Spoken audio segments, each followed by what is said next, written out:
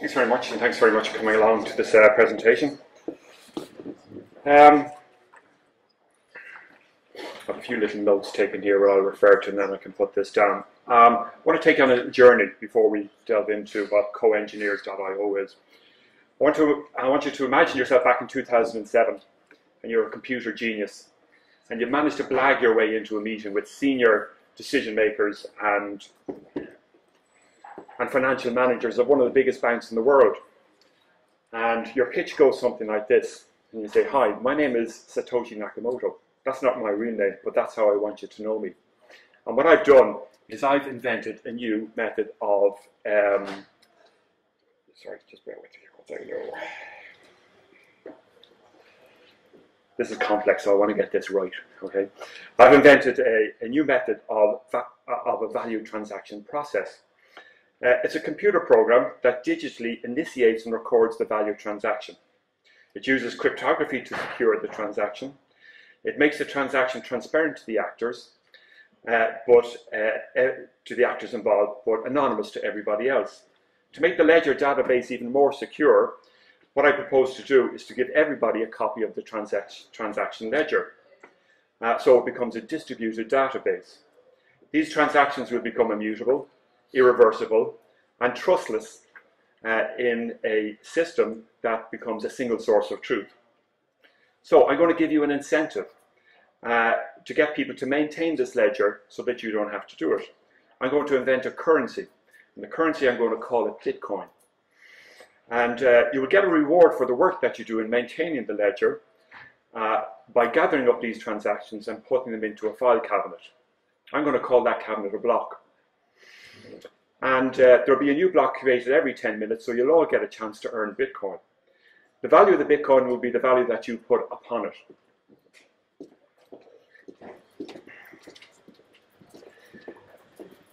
Um, it'll bring you closer to your client because what it's going to do is, is that it's going to disintermediate the process so you'll be able to dispense with layers and layers of middle management your client will get more insight and get closer control of the process of his value. I suggest that if you put that in front of these people at the meeting, your feet will not touch the ground as you're escorted from the building between the shoulders of two burly security men. And as your backside hits the pavement outside, up in the meeting, uh, the executives will admire your chutzpah, but they'll have a good laugh at your expense. Except you will have the last laugh because 12 months later, the bank will have gone bankrupt and all of those executives will find themselves on the pavement. And this actually happened in 2008.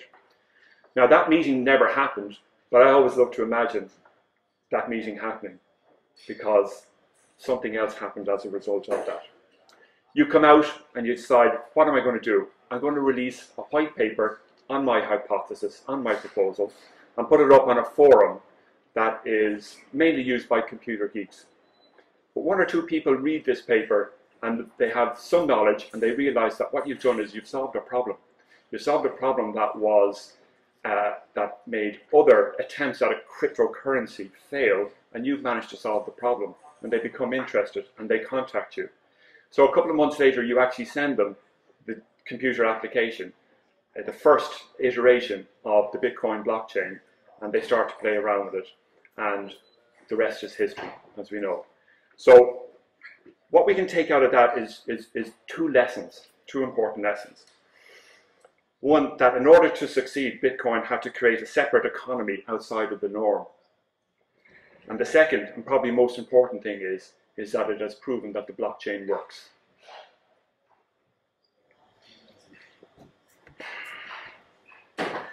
So we come to BIM and blockchain. And uh, my journey into blockchain started about three years ago, three or four years ago. I'm researching for a PhD. My PhD is based around the human dynamics uh, that are arising, uh, being forced down uh, into the profession through the use of collaborative BIM technologies. And um, as I started to look into this a little bit more, something became very evident, and I think has become even more evident over the last number of years, is that BIM has kind of plateaued. We've gone as far as level two, and I think we've got quite comfortable in terms of our level two BIM. Uh, we know it's not perfect, but we're comfortable because we still own the data. and we are happy to lend that data out in order to do these clash detections and move the project along a little bit, but we're still comfortable in terms of perhaps one of the problems that still arise there. And you can look back at the rise of BIM using the quite reliable uh, NBS uh, BIM survey, which has been carried out over the last number of years, and you can see the steady rise. But the last indication is that we're roughly at 70%. And uh, that's alarming to me, considering that there's been a BIM mandate for the last number of years, and, and that there's still 30%. And can you imagine the value of that economy still not using this process that we know is obviously a great process and it's our best solution in terms of the problems that we have in terms of design and construction at this moment in time. So, um, what's the problem? Well, the problem to me is trust. And it's trust because we're basically humans, and but we operate in a business that does not necessarily promote trust.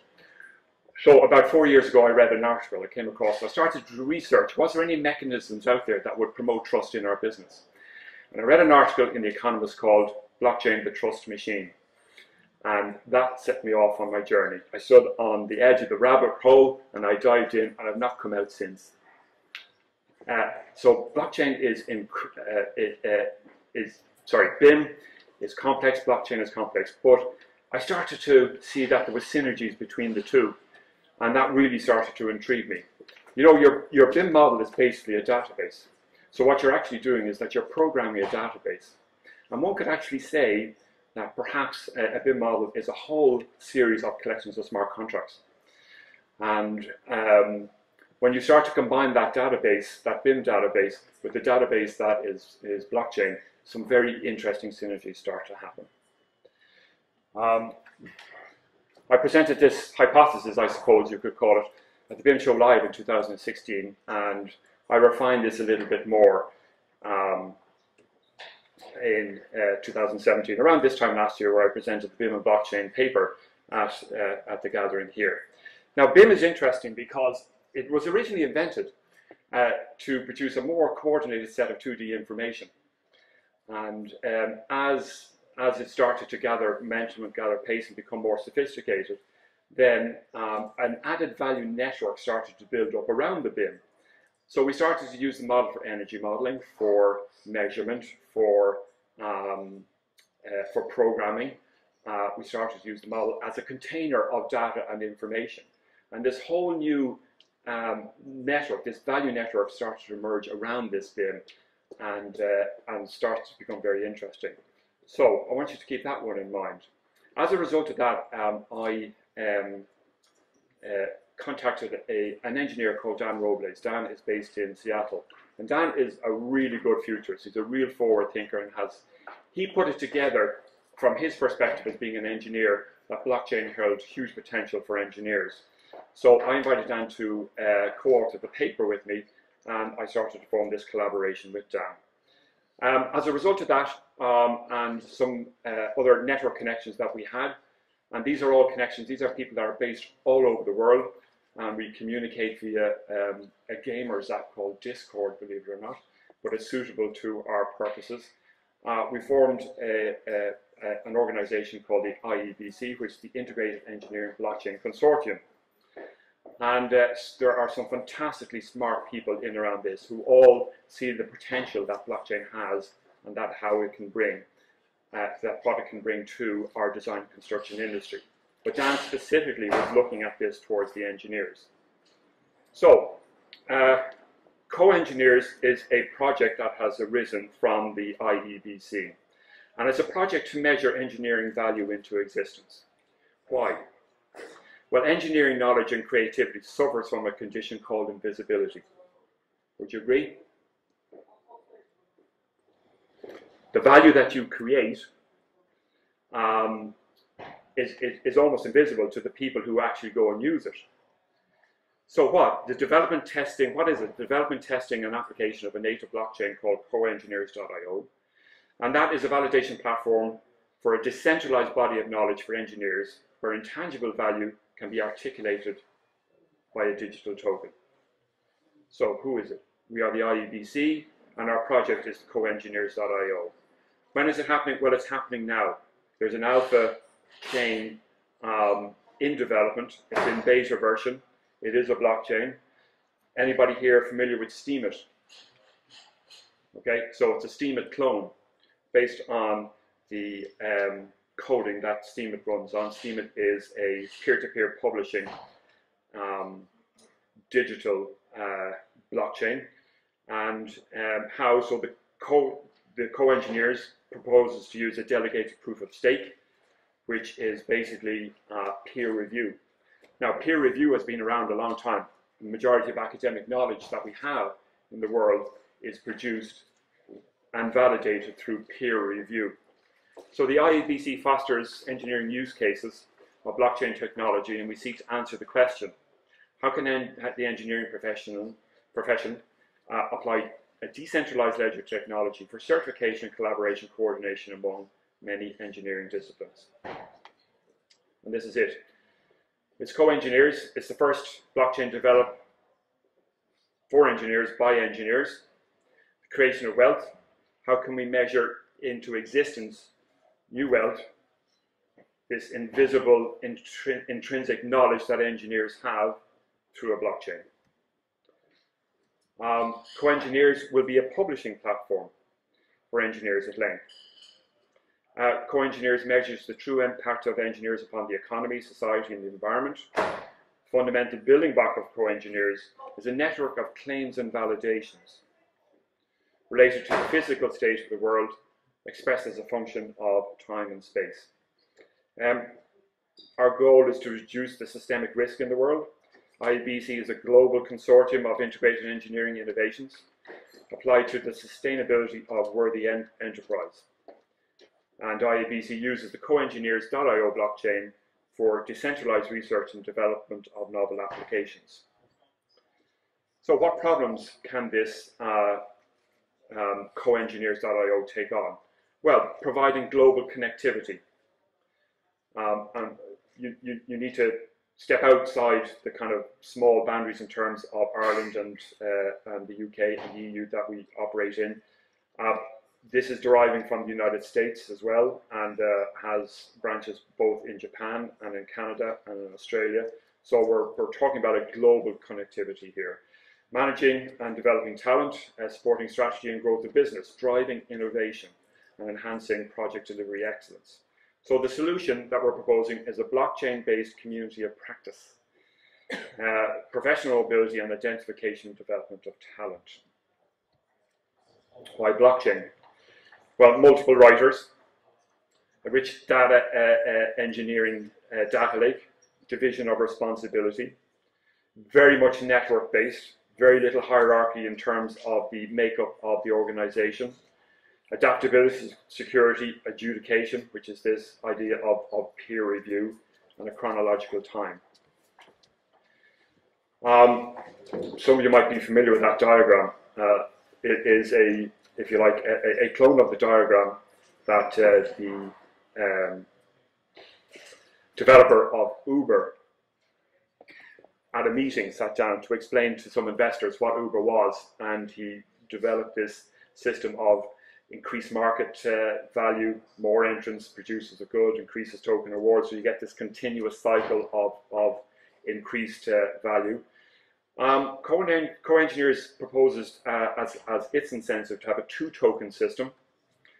Uh, why tokens? Because they're programmable compensation and incentives for contributors. They measure true value into existence. That's really important. They amplify curation of continuous improvement. Again, that idea of the miners in Bitcoin. A kind of cash that eliminates uh, initial capitalization, so not having to look for huge wads of money in order to get, get this started. The two token system is a measurement of value. Um, it's an asset tracker. It's a unit of account, consequently a storage of value, uh, a dynamic international and a quantitative uh, analysis uh, ability as well. So a non-trivial proof of work, how it's going to work is that you as an engineer will make a claim. It could be your credentials, it could be a piece of micro work, it could be a formula, it could be an algorithm, something like that.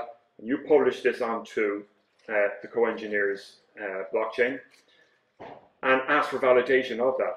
Uh, so other engineers or other people, other makers will come back investigate that, peer review it, and if they feel it's correct, they will validate that. So the claimant will get a token called mass, and the validator gets a token called gravity. Claimant receives mass tokens, validator receives gravity proportional to the amount of stake held by the claimant and the validator. And this is this uh, idea of proof of stake as opposed to proof of work, which is how the Bitcoin um, miners work. Use those vast amounts of energy that we can't really afford to do anymore. And the validators uh, claims will populate what we've termed an IBOC. So we're starting to build up this wealth of engineering uh, information, which becomes accessible to both engineers, but it starts to become accessible to people who need engineering knowledge. And those people will be typically insurers and financial institutions. Uh, the engineering token will have intrinsic value. So there's a market opportunity here. There's uh, an opportunity for a front row seat in the development of this tokenized ecosystem and this building of uh, this integration of engineering knowledge and data. Um, it, as I said, it's in beta. We're starting. We're at this point where we're looking for not investors as such. We're looking for people uh, who are interested in in getting involved in this and seeing uh, um, how this can work. We've got a safe sandbox, uh, sandboxing of network corporate organizations uh, at the core of perhaps some future operations as well. First time access to new world data set of knowledge, first time application of artificial intelligence. So what we're saying is that as this um, IBOC develops and more and more knowledge starts to come into it, it'll be, um, uh, and I refer back to kind of big data. Big data is something that a lot of people talk about. The real secret of big data is the person who can draw clarity from big data. And uh, that is a skill probably um, of artificial intelligence that might be coming down the line at some point along the way. I would suggest that it is. Knowledge asset management, networked uh, knowledge asset management for frictionless liquidity of engineering and architectural talent. So it's a it's an engineering blockchain built by engineers for engineers. I think it's for makers and doers. That's that's what I think this is for as well. And participation in the incubator and innovation exchange to allow employees to engage in the culture of a leading edge tech company. So getting your employees involved in this is, is possible uh, to do this as well. Um, I think uh, this is going to be one of the uh, uh, value networks that's going to happen deriving from the injection of blockchain into the design and construction industry uh, is a way, um, is, is this disruption of hierarchy and the introduction of network. And I think we're all pretty much uh, on the same page in terms of we operate on a collaborative, you know, our, our BIM technologies are collaborative. That's what they're there to do. You're not using these technologies correctly uh, if you're not collaborating.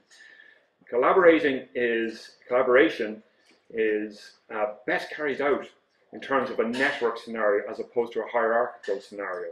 So what's going to happen here is a direct challenge to hierarchy, which means it's a direct challenge to how we organize our, our businesses and our firms uh, at this moment in time. And one of the things that you cannot do um, in terms of the hierarchy is, is bring in a whole new system because the hierarchy and the firm will tip over. So there's got to be a graduated uh, introduction of, of, of, of, network into a firm in order to, uh, to help this changeover, in order to make your firm business, your, your business better, leaner, and, uh, and more open to, uh, to other people that in the industry. So a way for engineering knowledge firms to predictably disrupt itself from the very foundations in a way that comes only along only once in a century. Asset management for frictionless liquidity of engineering and architectural talent.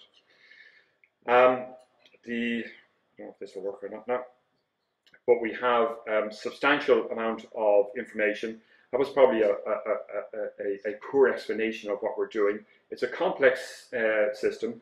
Um, but there is tons of information out there if you are interested in, in getting involved. Uh, we have uh, two websites, the ibc.co website and coengineers.io website. Um, this is backed by um, uh, academic papers, by um, proposals, by what we term to be moonshots, um, things that we can we feel we can apply this new blockchain to, and um, and it's it's different it's probably not what you expected um, out of a blockchain. But in the same way that this new value network developed in around uh, the BIM technologies, I think you're going to see a new value network develop around blockchain. So it's going to be start. It's going to start to uh, be applied in areas that perhaps you don't even know is going to be applied in as yet. Um, I'm often asked the question, when is this going to happen? And that's that is a difficult question because uh, I refer back to BIM. It's pretty obvious that BIM is uh, is is a fantastic way uh, and our best solution in terms of going about our business at the moment. But we're, we're only still at a 70% adoption and now we want to drop a whole new system in on top of that. You know, the design and construction industry is not known for its innovative, and we are basically laggards in terms of a digital transformation. It is happening, it's happening slowly. We know it needs to happen quicker and faster and better. Um, what effect can blockchain have? I think personally that it could be the secret sauce. It could be the magic ingredient, which will allow us to develop um, these trusting relationships, these relationships which we find difficult.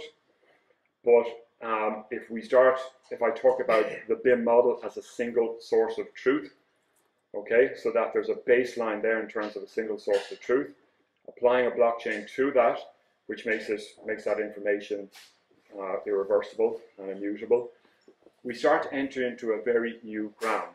Blockchain is basically network based as well. So all of these synergies are starting to happen. And if we want to get out of this funk, I believe that we're in in terms of BIM level two and proceed to BIM level three, well, perhaps it is a, an engineering or an AEC blockchain that might deliver and propel us into that. And if I had two more hours, I talk for two more hours, but I don't. But all the resources are there, and I presume uh, these will be available to people. And by all means, you're invited to get involved in what I think is a really exciting project. Thanks very much.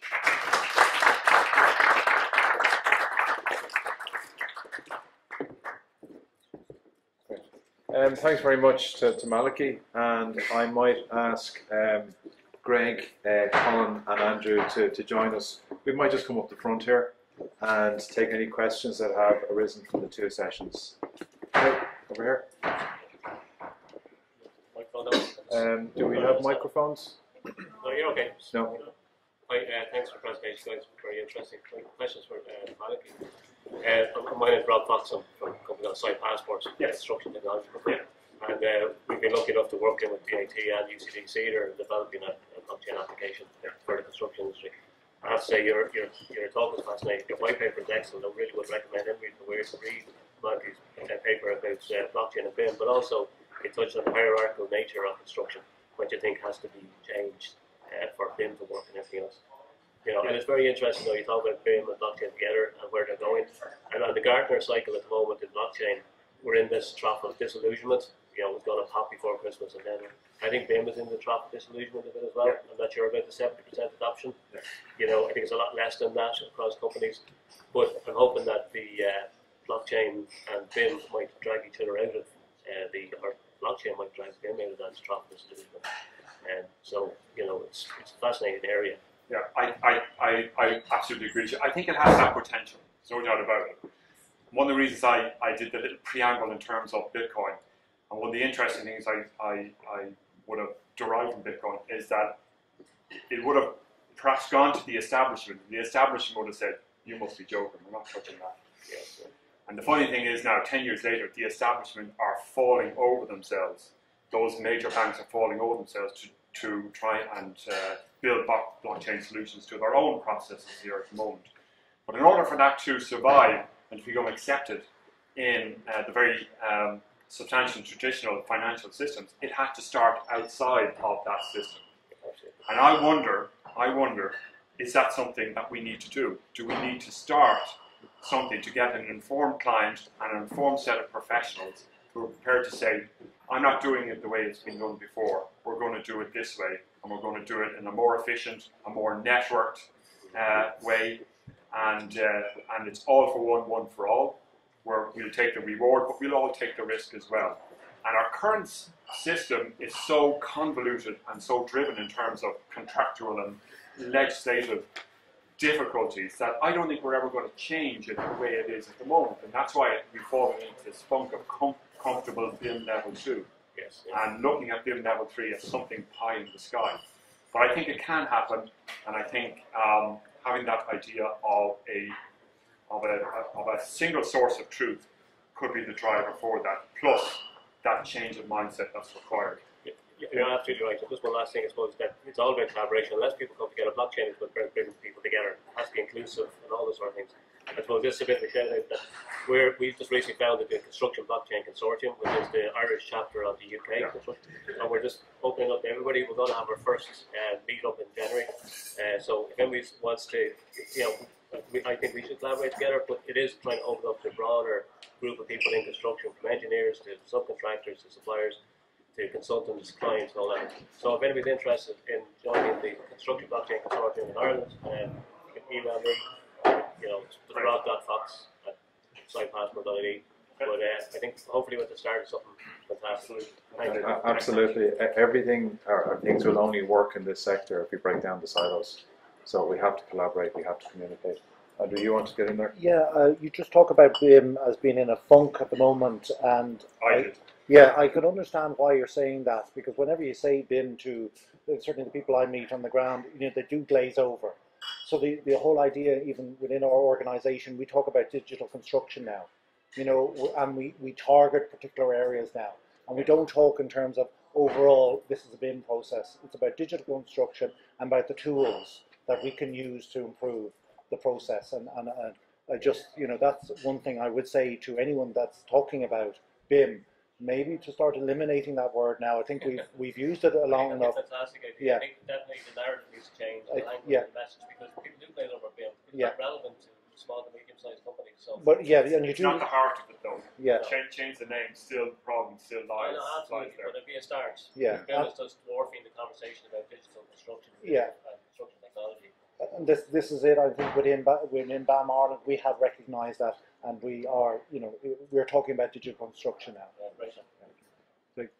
Yes, Thank you very much. My question um, is to the bounty.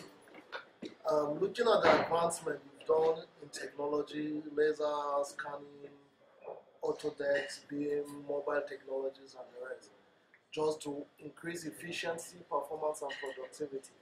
But the construction industry, the way it is, it is integrated socially. You have subcontractors, suppliers working. What is the disposition of suppliers and your supply chains in adopting these technologies? I think Greg or someone Yeah. talked about So- training. yeah. So what is their disposition? Are they investing in it or is BAM investing in them? Yeah. What is the There's, there's, a, there's, a, there's a little bit of both. Um, we have to recognise the whole industry isn't at a level that we'd be at, and people don't really need to be. So we're trying to bring people, include people in the process, but not trying to bring up to the same level. So they have to do things to solve their problems or our needs. Uh, we will give training where we need to, and Andrew will provide that to all subcontractors that need a little bit of training. But you see some of the, the larger subcontractors, Mercury and Joneses, they've bought into the process, bought into the BSI kite mark and, and understand the process. And over the last four or five years I've been working with I've gradually seen the conversation simplify. And when I say something, it's understood straight away. In the last two years, things have changed with the main, subcontra- main subcontractors, and it's slowly getting better and understanding. So it's going to be a period of time, a transition period, uh, that we will be able to have you know, a similar conversation on a, on a, level with a, a lower ranked subcontractor. But um, yeah, no, it's definitely progressed over the last uh, number of years. And on, and on that, you can you can take a walk down the aisle there, and you'll see a lot of vendors that are simplifying it. You know, in terms of people's access. You know, uh, in terms of uh, uh, putting information in, uh, and and so that we can all access it. And one of the things that I had to uh, jump over quite quickly is this whole idea of dashboarding. You know, and getting that information back out to people as well. So it's a, it's a it's about getting it in easily and getting it out, and letting all the technology work in the background. Yes, and uh, pertaining in the issue of trust, what is the situation? Uh, the subcontractors willing to give you the necessary information to get very good models. Well, I suppose that, that's tied into the contracts. It, it, it's, it's usually mandated uh, through the EIR as part of the, the, the contract. There's a deliverable there, And as when we when we are bringing on our subcontractors, that's just part of the, the, the, contract. So And obviously, um, as as uh, digitalization uh, matures, subcontractors know if they want to engage, if they want business from the likes of BAM um, and the, the leading contractors out there, they have to speak in their language. And SMEs are adopting every day of the week in order to, to learn that language. Okay. Any other questions? So, uh, so, so hi folks, my name is Killian McCoy, and I work in the blockchain lab there. Just maybe some comments that we add to that. I'm doing a presentation later. But the first one is, and we've seen this across financial services and all the different sectors we've delivered blockchains in, is there's one word that's key, that's culture. That needs to change. In any industry you're trying to, to bring a blockchain to. Another word we'd use is competition. So it's competition, collaborative competition. So yes, you're all competing, and you know, but I'm trying to take contrast of assists and whatever way it is. But you've got to just have that be able to put that in network in place. The second thing we found from all the industries that we work in is that the way you can tie something, a piece of innovation, to a regulation, it's a great starting point. Why? Because it's a common pain in the ass. And everyone will gladly talk around the table about it, as opposed to going in and talking about contracts or subcontracting or this, that, or the other, where it's a little bit more difficult. So just some insight, but I'll be talking about it later on, but just to add to that. I, and just to answer that, I, I often get asked what's what is the, the, the definitive strength of blockchain? To me, that definitive strength is its ability to influence human behavior. People wouldn't think necessarily that that's what it does, but that's what it does do. And if it does that, then is that the, as I said, the secret sauce that's going to be the catalyst for this culture change that we consistently talk about? And perhaps it is.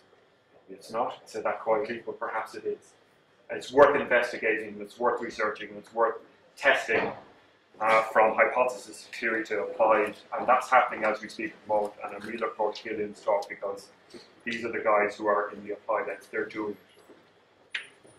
Okay, thank you for that, Killian. Anyone else want to get in on that? Okay, any other questions before we wrap up for lunch? No, um, thank you very much for your attendance. Thank you for your questions.